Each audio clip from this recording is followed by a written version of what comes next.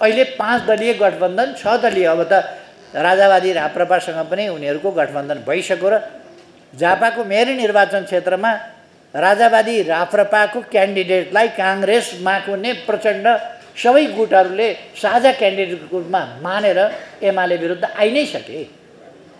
त्यस कारण यो पाँच दलीय होइन अब छ दलीय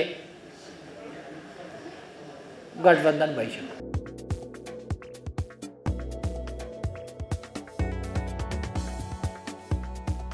माकुने गुट यी सबै एक ठाउँ भएर। कुनै गन्तव्य छैन उद्देश्य छैन कहाँ पुग्ने भन्ने केही पनि छैन।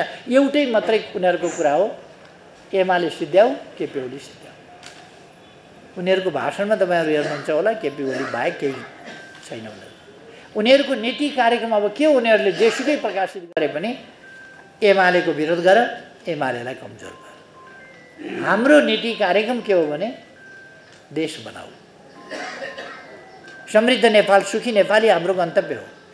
उनीहरूको गन्तव्य सरकार। उनीहरूको उद्देश्य एमालेलाई सिद्ध्याउने। त्यसो भएपछि सधैँ नालायक पात्रहरूले बाढी चोडिकन भ्रष्टाचारको रकम कमिसनको रकम खान पाइन्छ। त्यही मात्रै उद्देश्य हो।